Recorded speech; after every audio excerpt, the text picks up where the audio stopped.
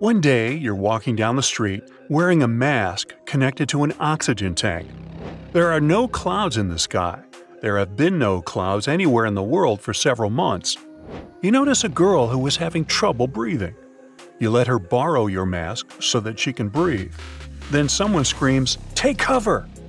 Now there's a loud whistle, and you see some kind of invisible force tearing trees out of the ground and pushing away parked cars.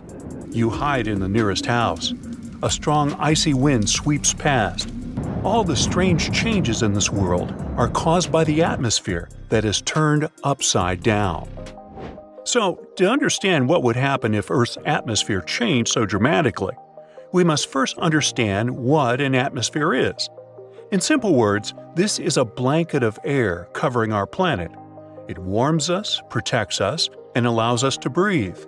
The atmosphere has five main layers troposphere, stratosphere, mesosphere, thermosphere, and exosphere. The troposphere is the heaviest. About 80% of the total mass of the atmosphere is here. Clouds, dust, and water particles fly in this first layer. It's filled with more oxygen than the other layers and exerts the strongest atmospheric pressure on us. The fact is that all the air around us has weight. At ground level, it's roughly 15 pounds per square inch. It envelops all material objects, but we don't feel 15 pounds per square inch, or psi, because our internal pressure is equal to that. The air is dispersed in the atmosphere and on the ground. The higher we go, the lower the atmospheric pressure and oxygen levels are. For example, climbers, while ascending a high mountain, use oxygen tanks to help their bodies adapt to the changes in the air. There's artificial pressure inside airplanes to make people feel comfortable during takeoff, landing, and the entire flight. So, the most saturated and, at the same time, the heaviest air is in the first layer. But in an inverted atmosphere, it would be the farthest one from us. The next layer is the stratosphere, and it performs the function of a shield. The stratosphere consists of ozone, which absorbs most of the solar radiation and prevents it from reaching the ground. In simple words, the sun's rays are filtered through the stratosphere. They lose their harmful properties, and our planet receives safe heat. Then the mesosphere comes.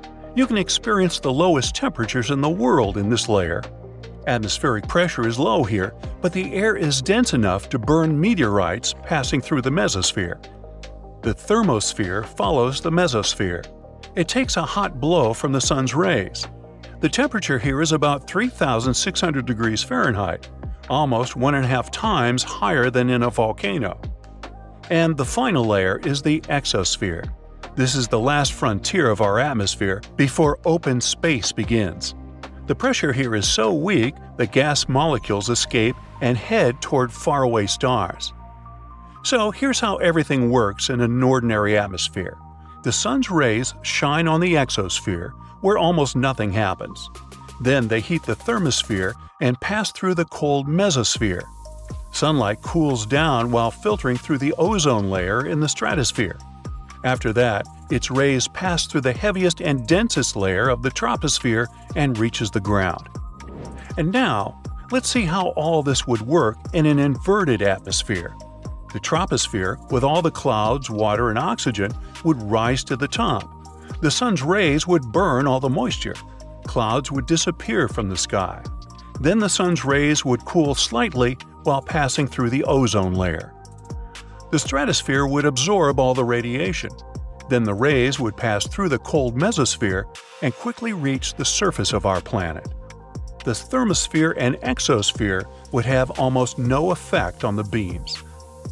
If our planet had an inverted atmosphere, a massive drought would begin all the rain clouds would get dispersed in the top layers of the atmosphere, and all the moisture on Earth would start to evaporate and accumulate in the exosphere and thermosphere.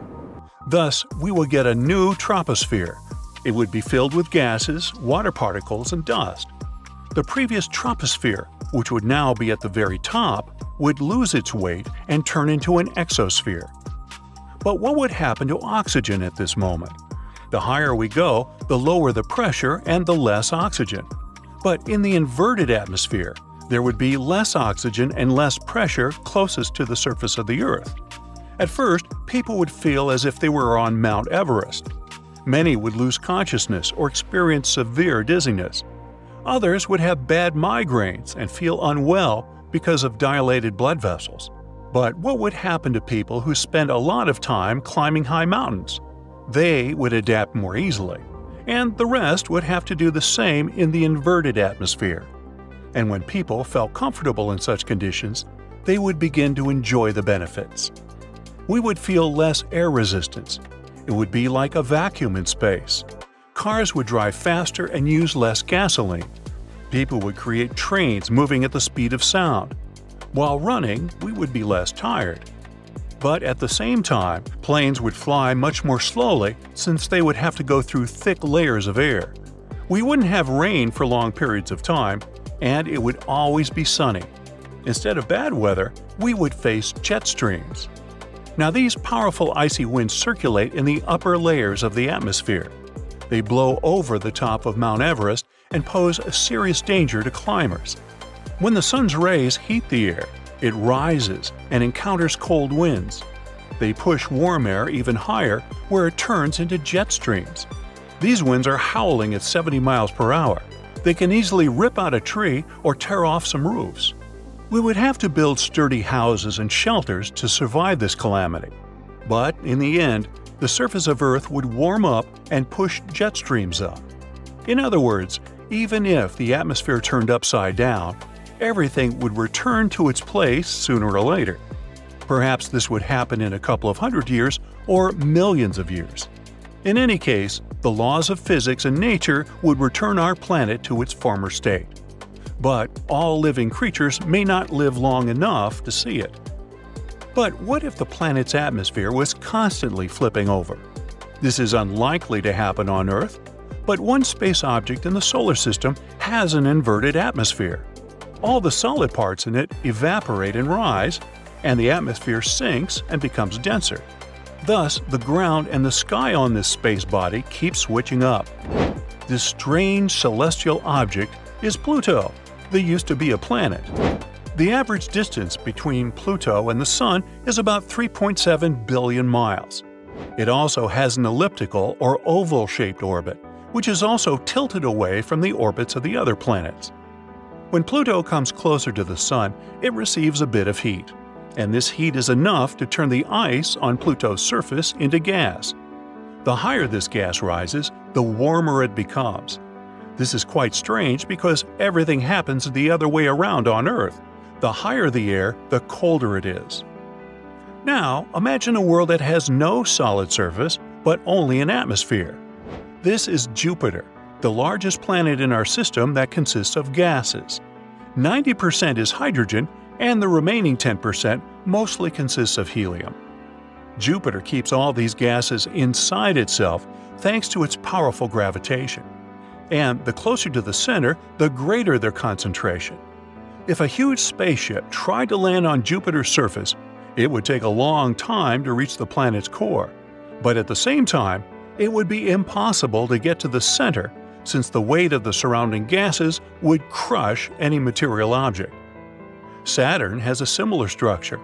The gravity of its gases is so strong that it makes the rings, consisting of pieces of comets and asteroids, spin around the planet.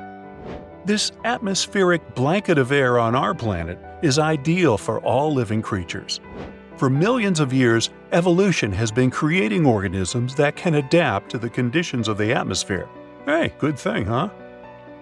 That's it for today. So hey, if you pacified your curiosity, then give the video a like and share it with your friends. Or if you want more, just click on these videos and stay on the bright side.